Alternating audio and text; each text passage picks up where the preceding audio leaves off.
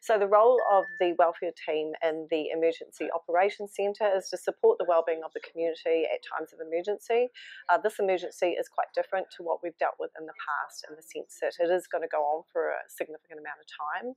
Our vulnerable community are required to stay at home, therefore, it makes it difficult for them to get out and get groceries, and quite frankly, we don't want them to.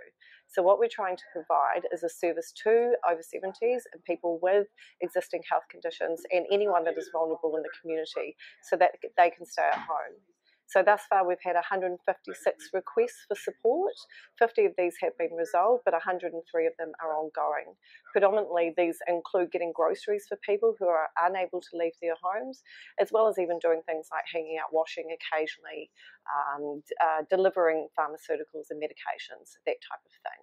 Collating information, liaising with the Emergency Control Centre, the Regional Emergency Control Centre, developing processes so that we can all work together um, giving effect to national directives as such from the National Civil Defence Emergency Management Team. Uh, there's a range of things that we're doing. So if you have needs and you need support to stay at home, please contact us on our website or on our phone number 06 323 0000.